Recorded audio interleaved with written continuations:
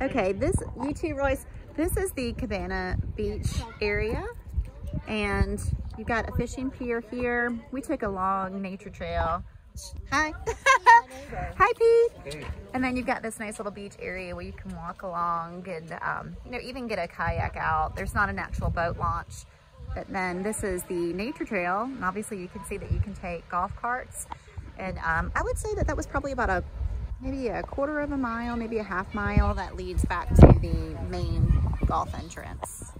So, yeah, you. So you've got restrooms out this way. It's beautiful.